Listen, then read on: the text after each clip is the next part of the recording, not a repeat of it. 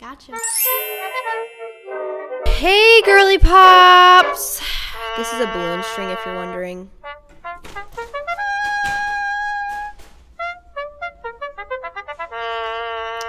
I don't know if you guys follow Avery Ovard or Luca Whitaker or Aspen Ovard, but those are the people that I have seen do the little thing on Instagram where you ask people to make assumptions about you, which is very peculiar, but it got me really wondering what you guys assume about me. But I didn't want you guys to beat around the bush and be too nice, so I made it on one of these like anonymous websites. And instead, well, at first I asked you guys to give me assumptions, what you just assume about me, because you know, it's YouTube and I only show you parts of my life that I choose to show you. So it's kind of interesting to see what you fill in the gaps, you know, because I don't tell you everything. So there's some part where you just kind of have to guess and make an opinion for yourself. And I wanted to hear that opinion, so this was very interesting. But I thought the assumptions thing was a little too basic because two people I've already seen make a video about it. So I thought we would get a little bit more what's the word? Raunchy is not the word for this. A little more aggressive. And I am basically allowing my subscribers and, well, basically Instagram followers to bully me for 24 hours. So I gave you the little anonymous link. I said you can swipe up and just say anything that you don't like about me, anything that I've done in the past that you just rubbed you the wrong way. And you guys,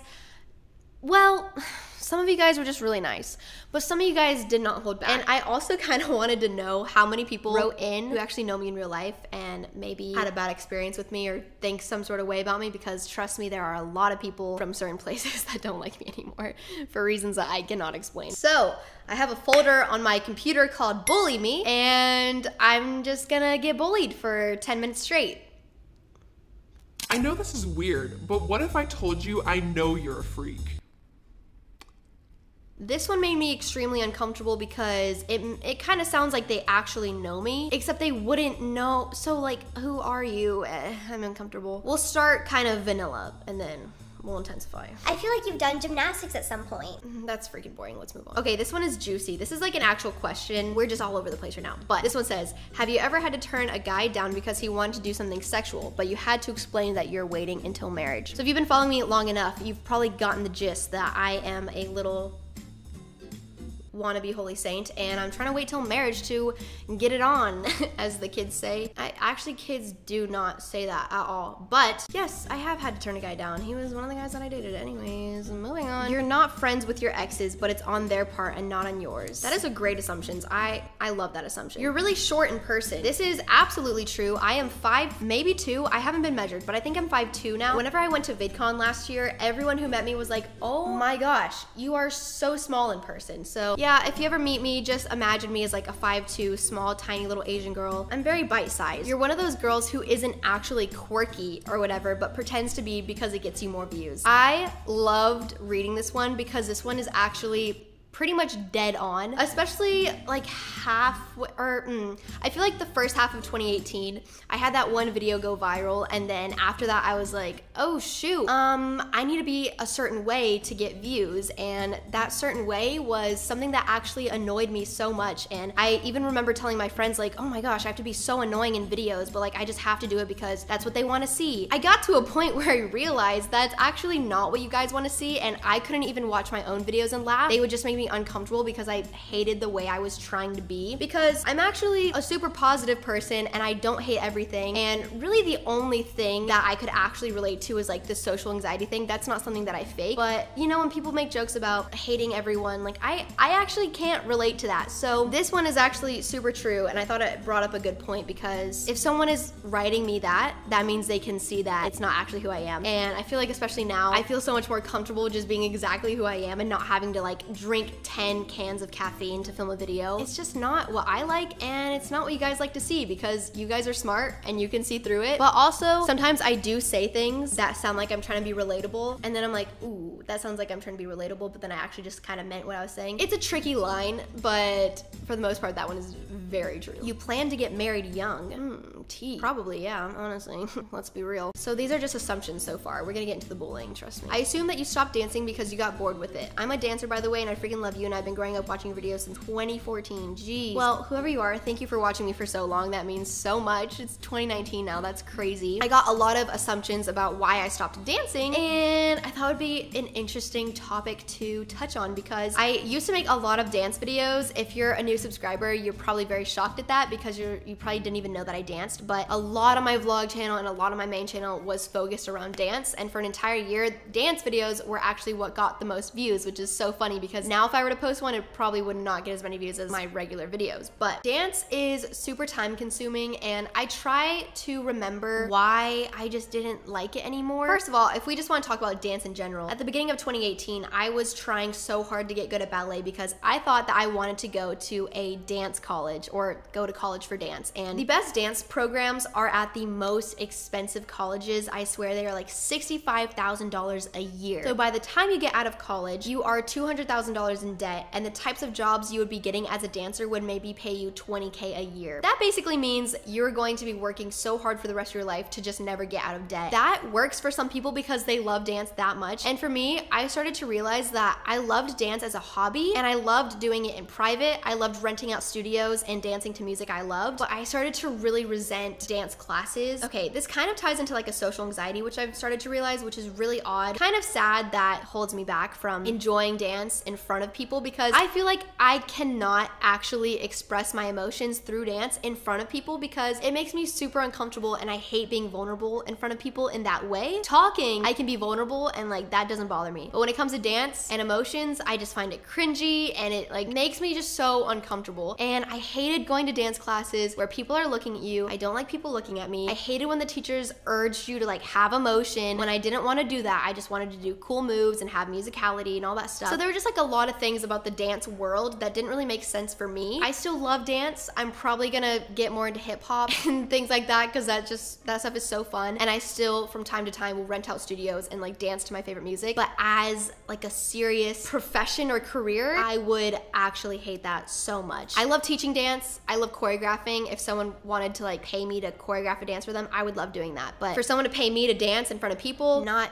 what I want. But at the same time, I did really like performing. So it was very odd. My relationship with dance is very weird. You're stuck up IRL and just front online. If you don't understand what this means, they're saying that I'm actually stuck up in real life or arrogant in real life, and then I just put up this front online that I'm like super humble and like don't care about money and I just don't care about getting followers and subscribers and it's all just a front because I'm actually super arrogant in real life. And you are completely right about that. Like I am probably the most stuck up person you will ever meet. I'm super arrogant. Like if you ask me about my accomplishments I will just list them off for you. Like being humble I don't really know what that is. So yeah you're completely right about that. Okay obviously I'm kidding but that is for you to judge if you think that. I actually wonder what makes you think that but I don't know, these are just interesting. This is why I'm doing this video. Jesus is not as big part of your life and okay i can't read words. Jesus is not as big a part of your life anymore. Well that has a grammar mishap so that's why it was hard to read. This one was true for a while because school dance and youtube was super hard to juggle. It sounds really weird but moving out into this space genuinely makes me feel more motivated and inspired and i actually have been reading my bible more and with traveling it was so hard to go to church so hard to be a part of a bible study. So that was actually true for a long time but especially for 2019 i noticed that i just feel way better whenever he's a priority. That's what I'm trying to do. There are actually a lot that were like, you don't know God anymore. That you copy Ava Jules on YouTube videos. Ava Jules, I'm sorry, girl. I don't know which ones I was copying, but they got me, I guess. I don't know. You care a lot about what others think, even though you don't want to. This one is a little too true for me. It was hard to read that one because it is actually so true to the point where it like interferes with my daily life. Whenever I go outside, I am overly conscious of people looking at me or people's like reactions to things. I feel like when I go outside, I am not even really experiencing it. I am just so focused on everyone else around me and their opinions of me. So translate that to my life on the internet can be a little bit unhealthy, but I feel like it's it's not as bad on the internet. Like I don't care as much, but I definitely care way too much than I should, and that is something that I'm so excited to unlearn and stop doing that because it is very tiring. Caring so much and trying to people please all the time and constantly changing yourself or like doing something differently just to please others. It's just very tiring and I'm gonna go to the therapy and figure it out, okay? So you're right. I've been following you since 2016 and I feel like you have changed a lot and not in a good way. Keep making videos. I can see you being the next big beauty guru on YouTube and Instagram. okay. This one I thought was so funny because it was like, I've been watching you since 2016. So I'm like, oh wow, like they're so loyal. That's so nice. And then they're like, I feel like you've changed a lot, which like also could be good. Like I've changed a lot. I was literally 15 years old in 2016 and now I'm 18. So yes, hopefully I changed. So still good so far. Oh, but not in a good way. But keep making videos. You're probably gonna be the next big beauty guru. Like this one was so confusing for me to read, but I thought it was funny, so I put it in. All right, let's get into more of the bullying. okay, a lot of you guys were just so nice. So if you're one of those people, thank you so much. That's so freaking cute. You act really arrogant. True. I'm literally like have the biggest head. Like subscribers go straight to my head. Wait, this is actually so funny because I was just sarcastic. This one says, I really, really love your videos, but sometimes you're a bit too sarcastic. And he might not like this video because I'm being very sarcastic in this one, sorry. No, I'm not sorry. I'm not gonna people please this year. I'm just gonna be myself and just not care what anyone else thinks of me. You got a lot faker and more like annoying type trying too hard to be cute in videos and it's a little bit irritating. I don't get too excited for your vids anymore, but it's okay because people change and I still respect you. You're doing great and you've come a long way from an old fan. Ooh, that one was pretty real. I don't know about the trying too hard to be cute in videos. I feel like I am the opposite of cute in videos, but I don't know, girl. These ones are so conflicting because they're like, I like you, but also I you're annoying, but also like keep doing it. You're doing great. I really love you and Ryan, but sometimes your videos can get a little dry. Ooh, I need to moisten up my videos. Don't need dry videos. That's Yikes. See, okay, this is what I was talking about. Trying to be one way to get views and then trying to people please. I could be really annoying in videos. I did do that and maybe it would get me more views. Or I could be myself and there would be a group of people who liked that. But then there's still gonna be that group of people who would rather me be this like really upbeat, annoying person all the time. And there's both of that on my channel. I feel like sometimes I'm really hyper and you can see that. And sometimes I'm like this where I'm literally just reading your comments. I've kind of, well, I haven't learned this completely, but I'm trying to learn that you just have to keep being yourself and like you can't please everyone everyone, blah, blah, blah. That's just really hard to come to terms with, but I'm learning. the fact that you put that giant plant tree thingy in that tiny little pot. Are you talking about this plant? You're probably right, but it's really cute, so I don't really This one says, stop ruining your records, girly. Am I treating them wrong? I don't know what to do. See, this is what I'm talking about. You act kind of annoying in a lot of your videos and try to overcompensate for the lack of energy. Stop it. This is what I'm talking about. Some people want me to be that energetic and some people, like this person, doesn't want me to be. So this video, they're probably gonna like a little bit better because I'm like not being that crazy, I don't think. But you never really know. You just can't please everyone. And that is what we are learning in 2019, folks. How quickly you lost your interest in pursuing higher education. College broadens your worldview and understanding so much. And while it isn't always necessary, it is always valuable valuable. YouTube doesn't last forever. This one, I actually agree with. I don't agree that I don't pursue higher education because I have a goal of reading at least a book a month and I read. I try to really keep myself educated. I think I actually screenshotted one that's on my phone and it says something about like, please don't become one of those YouTubers who has a vocabulary of three words and just gets super stupid. I am very aware of that and people who just use internet slang for their jokes kind of annoys me. Okay, this is getting controversial. But I am constantly trying to get smarter and I actually value education so much, which is why I'm confident enough that I will always be educating myself despite if it's a class that is mandatory to go to. I am the type of person that will get on myself to educate myself if that makes sense. So I know that college is like straight 4 years, you're only focusing on this one thing and educating yourself. So it is a little bit different because I'm already working. But you're right, YouTube doesn't last forever. But I think college is going to be there a lot longer so might as well pursue the thing that's there right now, right? I don't know, something to think about. Whenever I talk about stuff like this, I don't want to come off as condescending because I totally understand where, where this person is coming from. And I think that education does matter so much, so I understand the concern. But I agree with you. I value education just as much, and just because I don't want to go to college does not mean that I just don't care about education. I am constantly trying to improve in myself. And speaking of which, this isn't necessarily education, but it is self improvement. I recommended the books Love Does and Everybody Always a lot in my vlogs, or I think in my books or in my videos. And sometimes I'll see on Twitter that you guys bought those books and are reading them, which is actually crazy to me. Like, I know I say things in videos, but I don't realize that it actually affects you as a person watching this. So whenever I see you guys reading something that I recommended, it actually, I don't know, that's such a good feeling because I love those books and I feel like they were life changing. So for me to like maybe feel like I might have an impact is pretty cool. You're really a clone, bro. Literally, how did you know that? You want to be hippie, but it's too difficult. This one really hit home. Actually, this is a funny one. I go so back and forth of what I want my style to be. Sometimes I'm like, dang, really wish I could be like super hippie, super vintage, all that stuff. And then sometimes I want to be super basic and like dress up in these girly frilly things. I really go through phases and I feel like you guys watch that happen. And some of you guys perceive it as like I'm changing. And maybe some of you guys are like, Haley's just having a phase this month where she wants to be really girly. Like right now I'm super obsessed with makeup and I'm wearing lipstick. Maybe it's a phase. Maybe this will be like this for the next 10 years. Who knows, guys? Being subscribed to me is really just a journey. I don't like how family friendly you are, but I get it. YouTube is a D word. This one's actually kind of funny. I didn't really want to admit this, but I'm actually not family friendly at all when I'm not on YouTube. I don't think I should say that. I make really raunchy jokes that I just can't say on YouTube, and like sometimes I put them in a tiny bit. One time when I was at VidCon, I took a picture with a girl and a boy who watch my YouTube videos, and then afterwards, their grandma came up to me and she was like, Thank you so much for being such a good influence on my kids. And after that experience, I was like, You know what? I can't picture those kids and then say the things that I would say in real life. Like, I just put my most pure self on the internet because I feel like if I'm gonna have people who watch me, I don't want to influence them badly because my little cousins watch like Logan Paul and they just say things that I'm like, I really wish you would not say that and be influenced by that guy. Some people think that just because you have followers, it is not your responsibility to act a certain way to be a good influence, but I feel like personally, it helps me sleep at night to think that I'm only putting like the best part of, of myself, if that makes sense. But you're kind of right about that.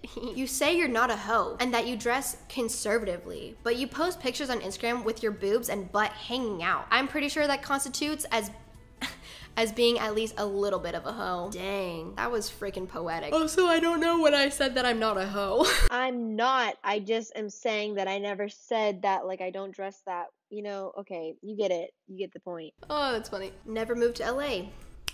Don't have to worry about that. You're really annoying sometimes. You're really freaking rude to Ryan. Poor guy, OMG. Like when he was in trying to be in your Kylie video and you ignored him the whole time and then he was like sad. Ryan! Someone said, so you remember my Kylie Jenner vlog? Uh, wait. where you're like dancing in the Oh, yeah, yeah. Okay, someone said you're really freaking rude to Ryan. Poor guy, OMG. Like when he was trying to be in your Kylie video and you just ignored him the whole time and then he was sad. I wasn't sad.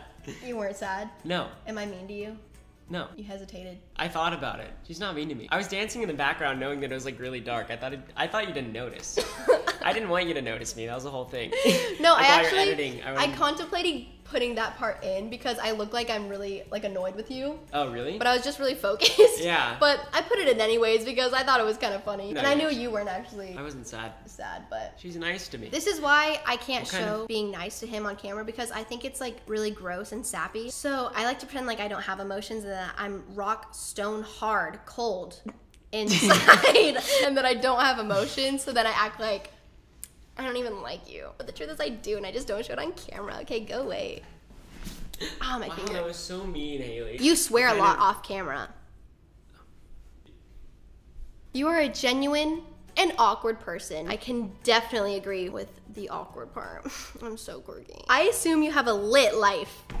I dislike, but also kind of find it funny when you wax your vagina. Man, some of you guys really just need to figure out your feelings. Assumption, you don't like LA. Assumption, correct. Big correct. Wait, this one's so funny. You seem very spoiled and full of yourself. It sounds cliche, but I think you've sold out way more than any other YouTuber that got big and moved to LA. I don't like your intro music.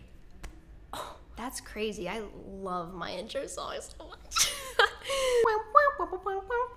Some of these are so innocent. You love to try new things.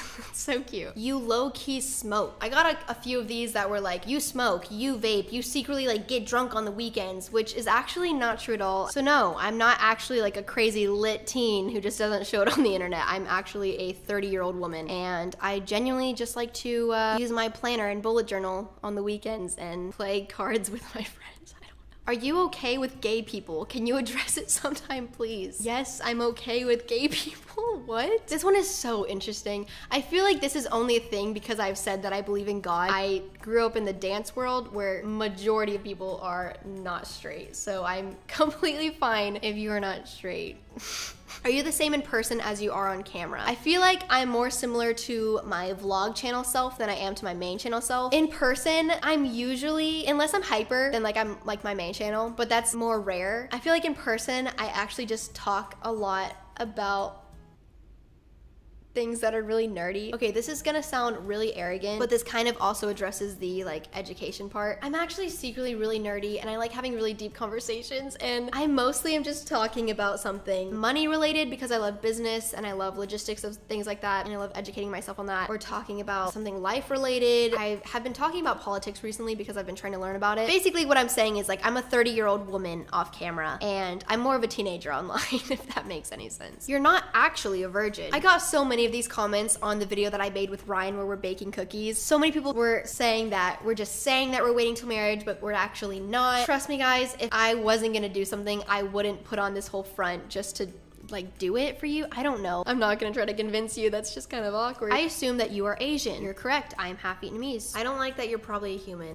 Dang it. Oh my gosh. Who wrote this one? Ryan?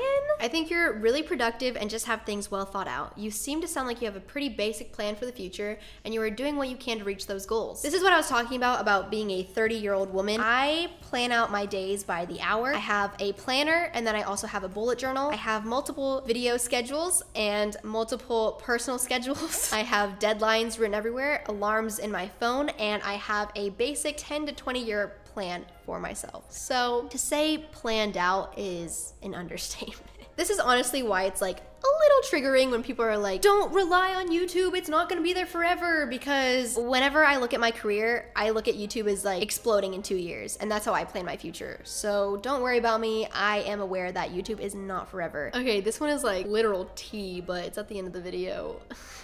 you didn't enjoy the dough trip. I enjoyed one. Wait, this one's actually sad. In a video, you discussed OCD in the most offensive way, and since then, I've rarely been watching your videos. It makes me upset that an influencer as big as yourself can share naive information and experiences. I will try to find the clip where I'm talking about me thinking that I have OCD, but it was literally just me in a vlog talking about how recently I've been planning out my days, and if I don't check off everything of that day, it makes me really stressed out. And I genuinely just thought that was like OCD. I didn't know that was offensive. I'm really sorry if that is not the right way to talk about it. I don't know. I was genuinely just like talking about my experience, but I don't know. That you are actually so beautiful, but you act like you're a solid six. I'd say that last part is pretty darn accurate. I assume that you are a very nervous person and don't really like big crowds. That is accurate. That is why YouTube conventions freak me the frick out. Okay, these two things that I'm about to read you are right on top of each other, and this is what I'm talking about. You can't please everyone. Let's just take a look. I get you're religious and everything, and your channel is a representation of you, but I just hope that your channel doesn't become super religious and focus on that a lot. The next one, right under that. Please don't take this the wrong way. I love you and your content. I know you occasionally talk about how you are a Christian, but I wish you would more, and I would really appreciate how being a Christian factors into the YouTube world. So as you can see, we've got two different crowds right here. Some people want me to talk about it more, some people wish I didn't talk about it at all or way less. This is what I'm talking about with you just have to literally be yourself and just accept that you're not gonna please everyone. And that is something I'm learning and that's why I've said it five times in this video because I'm just honestly telling myself that. But don't worry, I'm not gonna become a religious channel. Oh,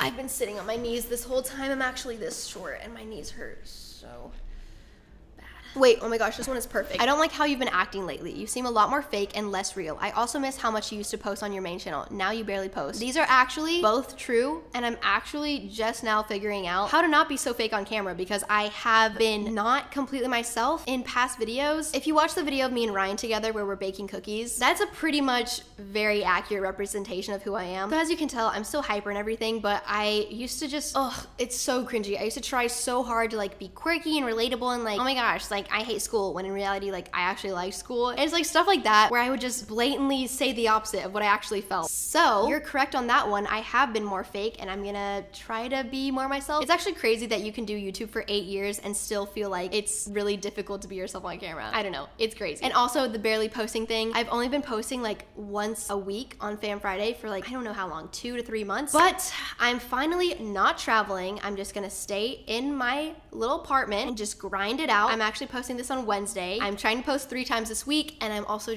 going to try to post a minimum of two times per week, if not three, and then at least once a week on my vlog channel, if not two, and more content on my Instagram. So honestly, I agree with you, and I'm gonna try to get better. And I enjoy the constructive criticism. Oh. The only scary part is whenever I talk about how I used to be fake and how I'm trying to like be more myself on camera. Sometimes, I mean, not all of it was fake, right? So anytime that I like try to make a joke or like I'm really hyper, I'm scared that you guys are gonna think that I'm being fake again when in reality, like that is actually just kind of who I am. But anyways, moving on, I'm just gonna be myself. I don't enjoy how you put prices that videos cost you or how much money you spent on something. This one is actually so interesting. So videos where you put how much you spent on something in the title tend to get more views. My justification is I'm only gonna spend that amount of money if I can like put it in the title and make a video out of it. So sorry if you don't like it, but that's my reasoning. You say that you want to save money and ish, but then you buy records for your wall and waste money on hauls. I don't know if I should actually respond to these because that can kind of get cringy, like I'm being defensive or something. But with hauls, okay, don't take this the wrong way. I see where you're coming from because it looks very hypocritical. But when you have a business, you have to spend money to make money. And in order for me to make a haul, I had to spend money to make money from that video, if that makes sense. I don't like that you haven't done a bullet journal video yet. I will make that on my vlog channel for you, stat. Okay, I think I've been filming for over an hour. So if this video is 20 minutes long, why did you watch to this point? Congratulations, comment down below. What should you comment down below? Secret club. Okay, that's what you're commenting down below, I guess. This video was kind of awkward at the end, honestly, and I kind of talked about things that were controversial, which I was not expecting to do, but every time I just sit and talk, it's my fave, and some of you guys like it too. So hopefully you enjoyed the video. If you did, give it a thumbs up. If you didn't, maybe you'll like Fam Fridays video or something since I'm posting three times a week. Hopefully you like one of them. I don't know. I have a vlog channel too where I'm trying to post more often, and if you like makeup, I am posting like two makeup videos right in a row. So definitely go over there, and if you like bullet journaling as well, I am going to start putting bullet journal videos on there. I also have an Instagram Instagram where I'm like, I try to be really Pinteresty and cool. And my Twitter is like actual trash. Okay, I'll see you on Fan Friday. Bye. I love you. Okay. Um, I feel weird now. I'm just never gonna read comments again. Okay, never mind. I will, but okay, bye.